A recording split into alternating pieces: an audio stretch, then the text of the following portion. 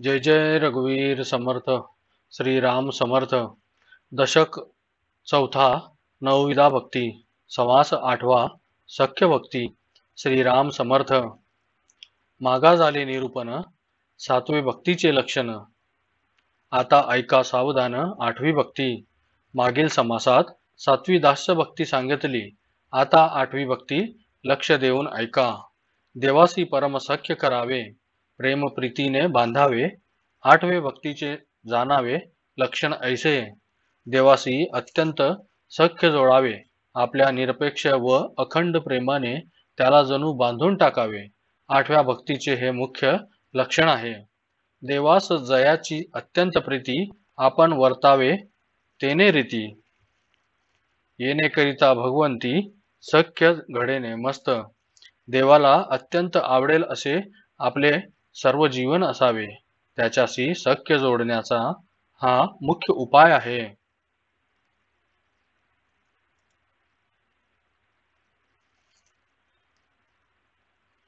भक्तिभाव आणि भजन निरूपण आणि कथा कीर्तन.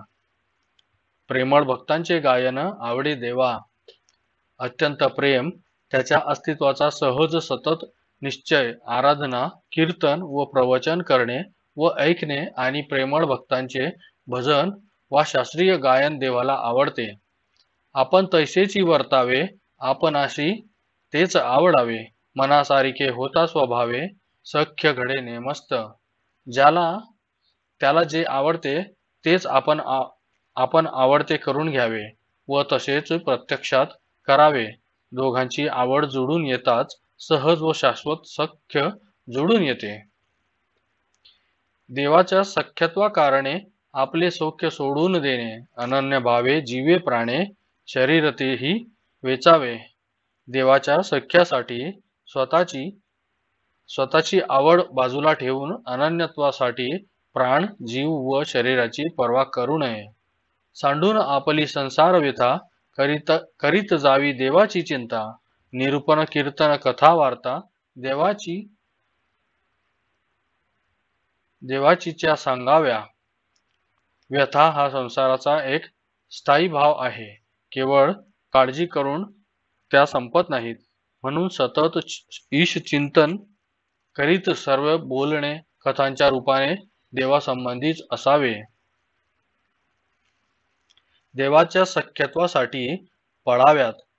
पळाव्या जीवलगांशी तुटी सर्व अर्पावे शेवटी. प्राण तोही वेचावा.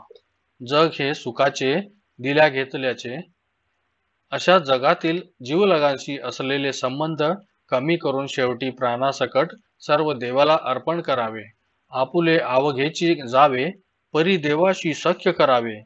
ऐशी प्रीती जीवे भावे भगवंती लागी. आपल्या सर्वत्वाचा त्याग करण्याची वेळ आली तरी फिकीर न करता देवाशी सख्य जोडावे. एवढे जीवाभावाचे प्रेम भगवंताविषयी विकसित व्हावे. देव म्हणजे आपुला प्राण प्राणासी न करावे निर्वाण परमप्रीतीचे लक्षण ते हे ऐसे असे. देव हाच आपला प्राण समजून त्याला पडेल ती किंमत देऊन जपावे. खऱ्या प्रेमाचे हेच लक्षण आहे. ऐसे परम सख्य धरिता देवास लागे भक्तांची चिंता. पांडव लाखा जो हरी जडता विवरद्वारे काढिले. असा अत्यंतिक सख्य भाव सांभाळला तर देवाला भक्तांच्या हिताची काळजी पडते. कौरवांचा पांडवांना लाक्षगृहात जाळण्याचा कट पांडवांना भुयारी मार्गाने बाहेर काढून भगवान श्रीकृष्णाने उधळून लावला. देव सख्यत्वे राहे आपणासी तो ते वर्म आपणाची पाशी आपण वचने बोलावी जैशी तैसी येती पळसादे देवाशी सख्य जोडले जोडणे सर्वस्वी आपल्या हातात आहे. आपण त्याला साथ घालावी त्याप्रमाणे प्रतिसाद येतो. आपण असता अनन्य भावे देव तत्काळची पावे. आपण त्रास घेता जीवे देवही त्रासे. श्लोक ये यथा मा प्रपज्ञे तास्यंत थैव वजाम्यमहम. या नियमानुसार देवाशी अनन्यभावाने राहिले तर तो लवकर प्रसन्न होतो. अनन्य भावाचा त्रास वाटू लागला तर तोही आपल्याला त्रासतो.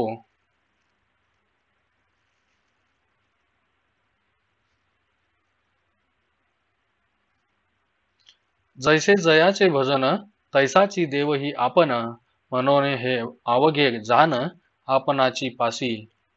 ज्याची जशी भक्ती तशीच त्याची प्रसन्नता असते. म्हणून हे सख्याचे वर्म आपल्याच पाशी आहे. आपल्या मनासारिखे न घडे तेने गुन्हे निष्ठा मोडे तरी गोष्टी आपणाकडे सहजची आली.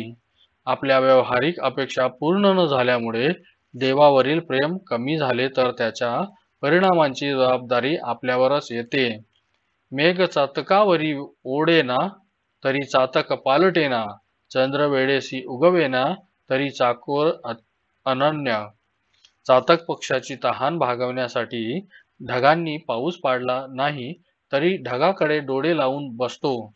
तिथीप्रमाणे चंद्राचा उदय सतत बदलत असला तरी चकोर त्यावरच प्रेम करतो. ऐसे असावे सख्यत्व विवेके धरावे सत्व भगवंतावरील ममत्व सांडूची नये. देवासी असे सख्य असावे व्यवस्थित विचार करून आपला निश्चय सांभाळून देवावरील निरपेक्ष प्रेमाला जराही धक्का लागू देऊ नये.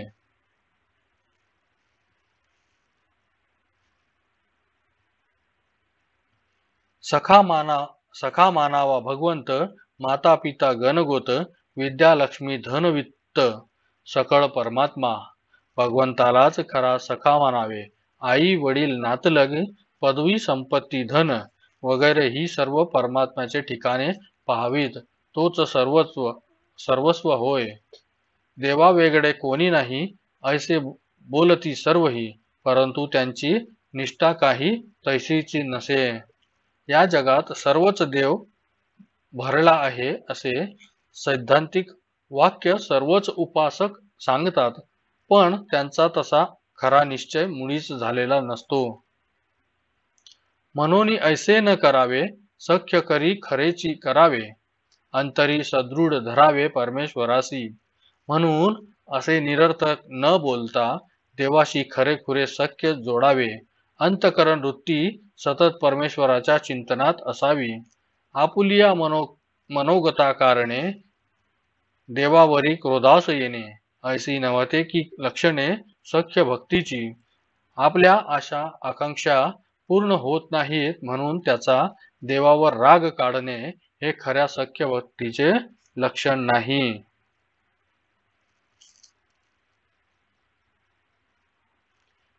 देवाचे जे मनोगत तेची आपले उचित इच्छेसाठी भगवंत अंतरू नये की.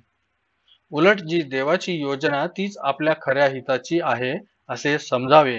स्वतःच्या काही आशा आकांक्षासाठी देवाला मुकू नये. देवाचे इच्छेने वर्तावे देव करील ते मानावे जग सहजची स्वभावे कृपाळू देव. देवाच्या आज्ञेप्रमाणे जीवन बिंधास्त करावे जीवन बंदिस्त करावे. मग देवाने जसे ठेवले असेल तसे आनंदाने स्वीकारावे. अशा भक्तांवर देव सहजच कृपा करतो. पाहता देवाचे कृपेशी मात मातेचे कृपा कायसी मातावधी बाळकासी विपत्ती काळी. देवाची कृपा अतुलनीय आहे. त्यापुढे आईचे अपत्यावरील प्रेम सुद्धा अगदीच फिके पडते कारण ती संकटकाळी अपत्याला ठारही मारण्यास मागे पुढे पाहत नाही. देवे भक्ती कोण वदिला? कधी देखिला ना ऐकिला? शरणागतास गेला शरणागतास देव झाला. वज्र पंजरू देवाने भक्ताला ठार मारल्याचे आजपर्यंत एकही उदाहरण नाही. शरण गेलेल्या भक्ताला जणू वज्राचे कवच घालून देव त्याचे रक्षण करतो. देव भक्तांचा कैवारी देव पतितांशी तारी देव होय सहाकारी अनाथांचा. देव नेहमी भक्तांच्या बाजूने उभा राहतो. पतितांना उद्गार उद्गारून तो नेतो व अनाथांना तो मदत करतो.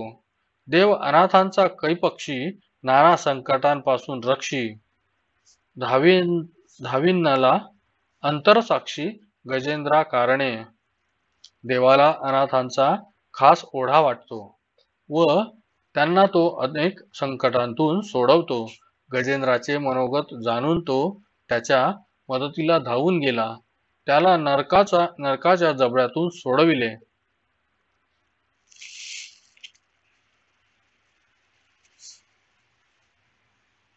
देवकृपे देवकृपेचा सागरू देव करुणेचा जड धरू देवासी भक्तांचा विसरू पडणार नाही. देव कृपेचा जणू विशाल क्षीर समुद्र आहे. करुणेचा मोठा ढग आहे तो भक्ताला तृप्त केल्याशिवाय राहत नाही. भक्तांना विसरत नाही. देवप्रीती राखो जाणे देवासी करावे साजने जीवलगे अवघी पिसुने कामान येती. प्रेम कसे सांभाळावे हे देवाला फार चांगले कळते म्हणून त्याच्याशीच सख्य जोडणे जोडावे. इतर नातलग मित्र इत्यादी परके समजावेत. वेळेला त्यांचा उपयोग नसतो. सख्य देवाचे तुटेना प्रीती देवाची विटेना देव कदा पालटेना शरणागताशी.